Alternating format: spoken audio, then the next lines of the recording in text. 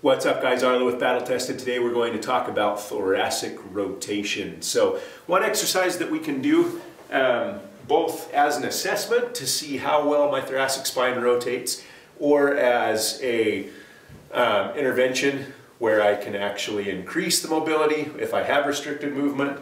I am going to do a golf club stretch. So I'm going to take a kneeling stance, one leg forward, one back. I'm going to take a golf club between my arms and I'm driving forward with my elbows to push it into my back. I want to keep the golf club flat on my back so that as I rotate, I don't want to lose contact on one side or the other.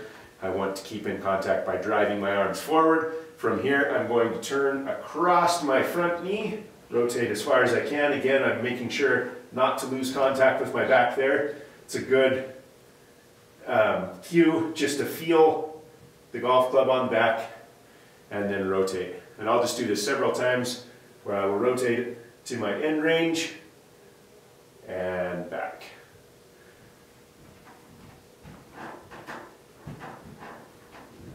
And then I will do the other side.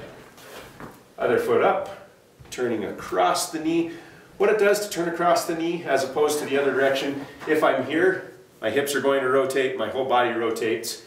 If this is up, I can't turn my hips, so it has to be thoracic rotation that the movement comes from. So here I also want to keep my knee pointed straight forward and not allow it to open up, my hip to open up, and my knee to collapse out.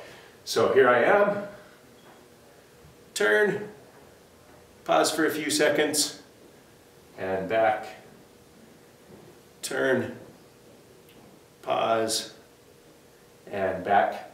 Um, we also find we get more benefit from that alternating turn, relax, turn, relax, turn, relax, simply because we're engaging the muscles of the rotation that cause the rotational movement of the thoracic spine.